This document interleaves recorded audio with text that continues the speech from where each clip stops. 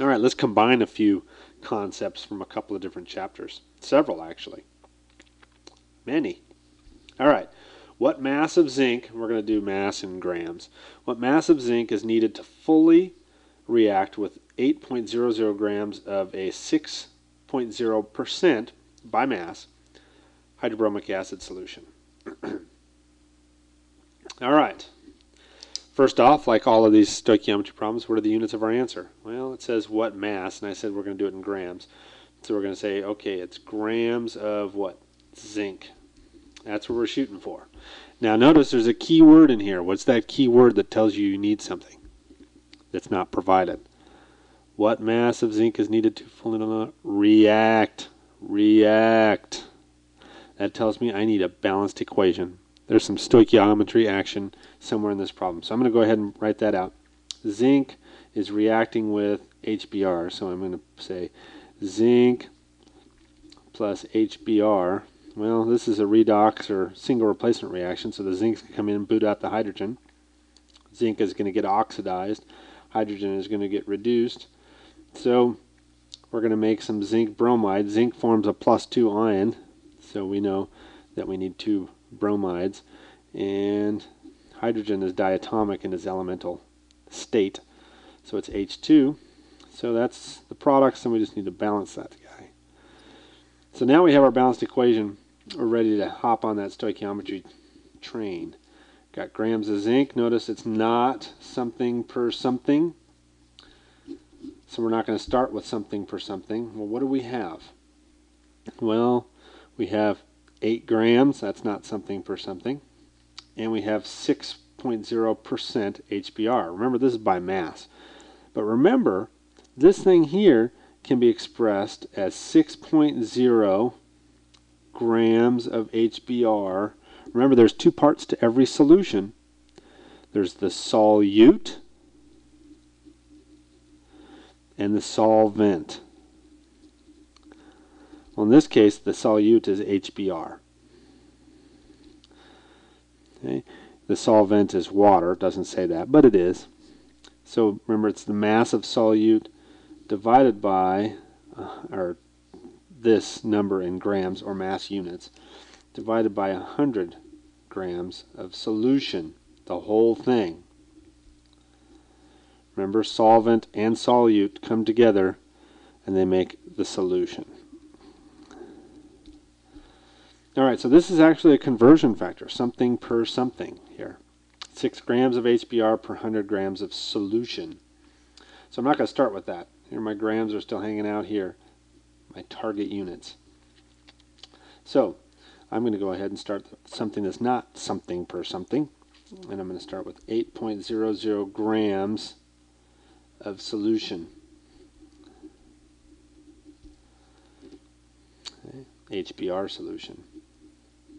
Now I need to get from HBr solution to eventually to zinc. So I know I'm going to have to have a mole to mole ratio in here somewhere. Okay.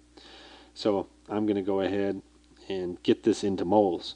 Well, how am I going to do that? Well, I can use this conversion. I can say, okay, I need grams of solution, SOL apostrophe N. It's an abbreviation for solution. Grams of solution down here. 100 grams because that's what's going to cancel. 6.0 grams of HBr. Okay. And for my my uh, periodic table here, somewhere in here, well, I have a green one. I'll use the green one instead of the orange one. So if I stop now, grams of solution, I have grams of HBr. I need to get this into moles of HBr so that I can uh, um, use my mole to mole ratio. So remember H has a molar mass of 1.010079, so 1.01, and bromine over here has a molar mass of 79.9. Okay. So bromine is 79.9.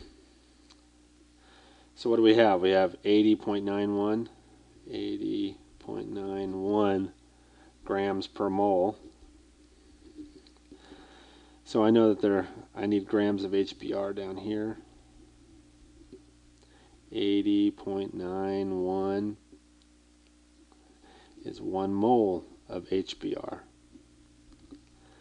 Now I can get from HBr to zinc and I can say, oh, okay, for every 2 moles of HBr, I react with 1 mole of zinc. 2 moles HBr gives me 1 mole of zinc, or reacts with. And now, if I were to stop right now, grams of HBr, grams of moles of HBr, moles of HBr, I'm left with moles of zinc.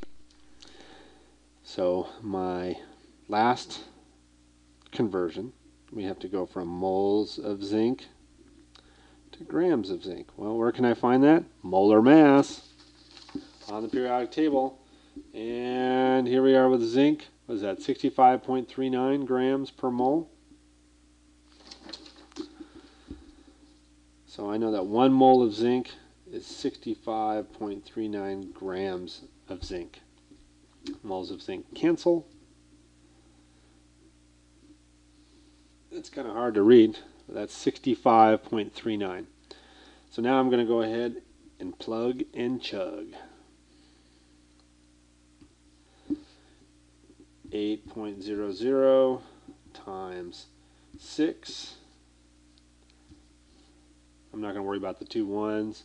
Times 65.39 times 65.39 divided by 100 divided by 80.91 divided by 2 equals 0 0.19 well, how many sig figs are we good to? 2 and that's 193 so just 19 grams of zinc. Now I want to just double check my calculation because I may have hit a goofy button. 8 times 6 times 65.39 divided by 100 divided by 80.91 divided by 2 equals 0.19. Okay, bingo. Little nomenclature, little balancing of chemical reactions, completing chemical reactions, did some solution uh, percent concentration, and finished it off with a batch of stoichiometry.